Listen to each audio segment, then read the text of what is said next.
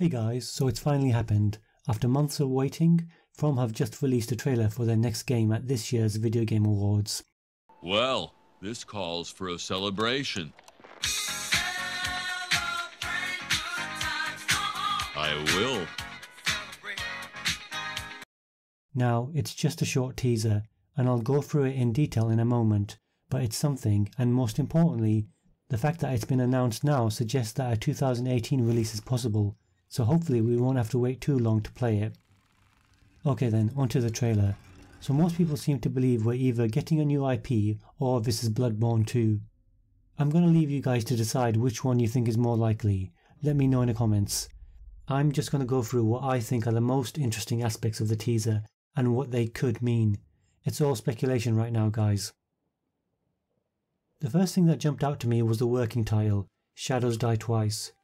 We have no idea if this is going to be the final title, or even if it refers to something that's in story or in the game itself. But it did immediately remind me of some of FromSoft's past endeavours. The first was the Shadows Tower series of games. Back in the year 2000, From released a first-person action RPG not dissimilar to the current Souls series to moderate success mostly in their home market of Japan. Now, Souls games are a spiritual successor to Shadow Tower, but does this really mean that we're going to get a reboot of the long-ended series? I doubt it. It just may be a subtle nod to the origins of the current success. Now, there are minor references to shadows throughout the Soul series. The ones that come to mind immediately are the shadow set worn by ninjas in Dark Souls, and the enemy type Shadows of Yharnam within Bloodborne. Are we about to see a ninja based action RPG from ancient or mythical Japan? Maybe, maybe not. Okay, so let's move on to the actual scene depicted in the trailer. So pretty much the only thing we see front and center is the horrific looking contraption that is very likely a device we'll craft in the game. It, what's important is that it looks to be a combination of metal, string and bone, which makes it kinda spooky.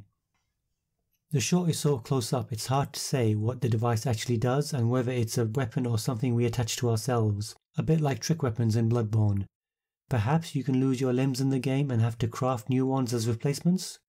It also gives a new layer of meaning to the quote, shadows die twice. Is this a game where players literally have to rebuild themselves after death? Maybe, maybe not. Now, behind the object, we notice there's a script with some writing which looks oriental.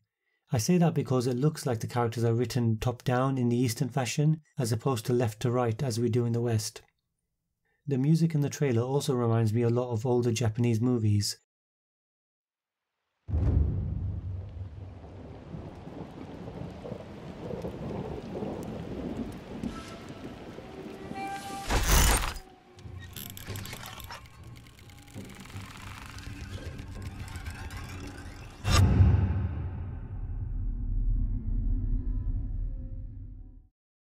So we might expect an eastern setting this time. Finally, there's what looks like a chisel or screwdriver which adds to the crafting vibe, and not a small amount of blood on the work table. Now, much of what I've already said is speculation, but here's what we can say with a reasonable amount of certainty. Based on the overall mood, I'd say we're looking at another action RPG in the Souls mold with heavy horror elements. The bones and the blood all point in that direction. There's also likely to be a greater emphasis on crafting this time around, whether you'll be replacing your limbs with crafted items or crafting weapons from the bodies of slain enemies remains to be seen, but it would be very cool though. Right now that's all I can really say for sure, but heck, it's just a teaser and I'm almost certainly overanalyzing it. Why don't you guys tell me what you think in the comments and we can get a discussion going. See you soon guys.